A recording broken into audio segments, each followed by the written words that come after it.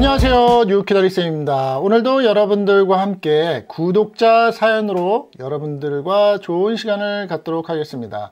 자 오늘 영상은 음, 미국에 이민을 오신 지 40년 1980년대에 오셨다 그러니까 40년 정도 되셨죠? 40년 정도 되신 어느 한 노인분께서 시청을 하시다가 처음으로 저희한테 사연을 보내주셨다는 말씀과 함께 긴 장문의 글을 보내주셨습니다 자 어떤 내용인지 한번 보시고 여러분들과 함께 생각해보는 시간을 갖도록 하겠습니다 사연을 읽어보도록 하겠습니다 안녕하세요. 저는 미국으로 1980년도에 이민을 오게 된 한 노인입니다.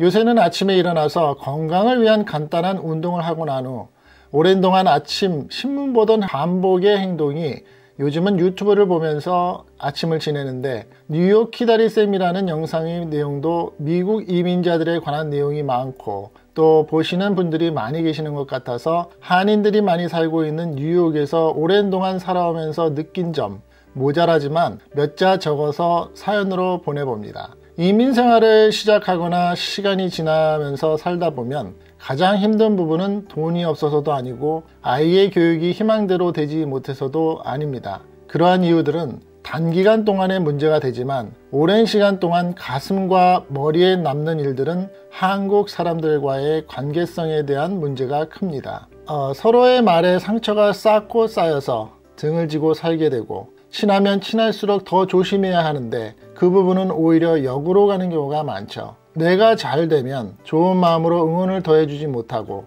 뒤에서 질투가 더 남발하고 쌍욕을 그리고 모함을 일삼는 경우가 많습니다. 그러다 보면 정말 불편한 사이가 되는 경우를 한두 번쯤 겪게 되죠. 내가 가까운 사람들과의 관계 속에서 그 사람이 내가 무엇을 하던 이해하겠지 하고 자기 편에서 자기 위주로 생각하는 그런 경우가 너무 많습니다. 우리 이민자들이 사는 모습을 보면 서로가 안 보이는 계급을 두고 있지요. 서로가 경제적, 교육적 상대성을 가진 사람을 만나면 은연중에 무시하고 말은 예의에 벗어나서 상대가 얼굴을 흐리게 될 정도의 언행을 나에게 취하는 경우가 생각보다 많습니다.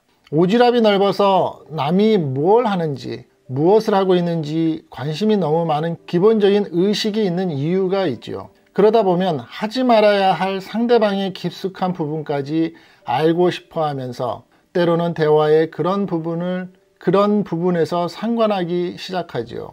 예를 들면 한국에서 무슨 일을 했니? 나이가 얼마나 됐어? 결혼을 했니? 왜 아직도? 왜 아직도 결혼 전인데? 사실 이런 질문들의 종류는 외국과 미국에서는 상대에 대한 신뢰가 많이 되는 질문인데 그런데 말입니다. 문제는 그 질문을 받는 사람 입장에서 별일 아니고 긍정으로 받아들일 수 있으면 그러면 좋은데 받는 입장에서는 그러지 못하다는 거죠. 은근히 남이 잘 되는 부분에 칭찬과 박수를 보내기보다는 뒤에서 몰락하고 안 되길 바라는 마음을 가지고 있습니다. 그리고 자기 인생과 남 인생을 비교하기 너무 좋아합니다. 그런데 그 부분에서 긍정과 노력을 보태기보다는 남의 인생을 비교하면서 스스로 무너지는 실패의 생각과 행동을 하면서 자괴감에 빠집니다. 많이 안타까운 마음이 듭니다.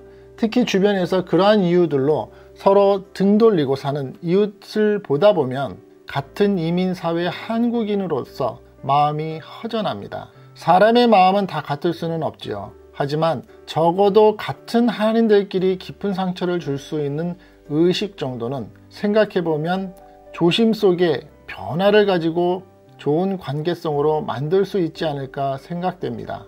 이민을 하면서 우리의 인생이 나이 들면서 성숙하듯이 이제는 이민 역사 100년을 넘는 우리 한인들의 의식과 관계성도 어른들처럼 성숙한 의식 속에 이민자가 되었으면 정말 바랍니다. 그러면서 내 자신을 다시 뒤돌아보면서 내 자신조차도 하는 반문을 하곤 합니다. 이민을 하면서 우리의 인생이 나이 들면서 성숙하듯이 이제는 이민 역사 100년을 넘는 우리 한인들의 의식과 관계성도 어른들처럼 성숙한 의식 속에 이민자가 되었으면 정말 바랍니다. 우리 이민 사회의 한국 사람들 서로 돕고 의지하면서 하나된 모습으로 같이 살아나갈 수 있는 한 사람 한 사람이 되면 어떨까 하는 기대 마음으로 뉴욕 키다리쌤에게 글을 드려봅니다. 축구가 하는 날이면 대한민국을 외치는 하나된 모습 분명히 나올 수 있는 우리 한국인임을 믿어 의심치 않습니다. 이 사연을 보내주신 분께서 하신 말씀이 다 맞죠. 그리고 우리가 살면서도 한두 번쯤 분명히 느끼고 아쉬워하는 점 맞습니다. 한국 사회의 이민자들이 다른 타민족에 비해서 이제는 인정을 받고 또 부러워하는 한인 이민자의 모습으로 성장을 했습니다. 그럼에도 불구하고 사실 이제 한국에서 처음 오신 유학생분들 아니면 이민을 처음 오신 분들이 처음에 마음의 상처를 분명히 한두 번쯤 받게 되는 건 한국 분들 사회 가운데에서 한국 분들 사이에서 마음의 상처를 받는 경우가 많죠. 기대 심리가 더 많아서일까요?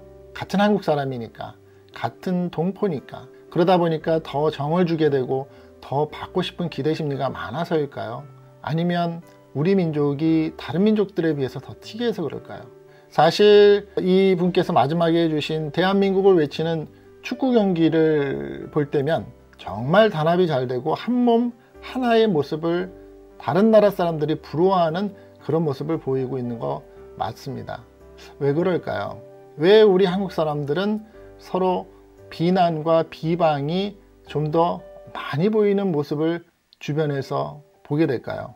아쉬움이 많이 남습니다. 저도 이민 생활 25년 차 접어들면서 많은 마음의 상처도 있었고 또 그런 부분들이 분명히 저도 개인적으로는 한국 분들 한인 사회에서 받은 상처였습니다. 오늘 이 말씀을 해주신 이민 40년 차 되시는 분 어렵게 마음에 말씀을 해주셨는데 다 같은 마음이라고 생각합니다. 자, 우리 이민 사회 살아나가면서 이제는 성숙된 이민자 그리고 경제적으로 정신적으로 발전된 한국 이민자라는 그러한 말을 들을 수 있는 이민 속의 이민자, 한국 이민자가 되는 우리 그런 한국 사람이 되었으면 저도 같은 마음으로 바랍니다. 오늘 영상 여러분들 좋으셨으면 어, 여러분들께서도 제가 이 밑에 자막으로 이메일 주소를 다시 한번 또 달아드리겠습니다. 하시고 싶으신 말씀 그리고 속에 있으신 말씀 언제든지 보내주시고요. 공감되는 댓글과 함께 우리들이 좀 더 성숙하고 좀 더 생각하고 좀 더 발전하는 우리의 모습으로 살아나가는 그런 기회의 장이 되었으면 좋겠습니다. 오늘 영상 끝까지 시청해 주셔서 감사합니다. 뉴욕 키다리스임이었습니다.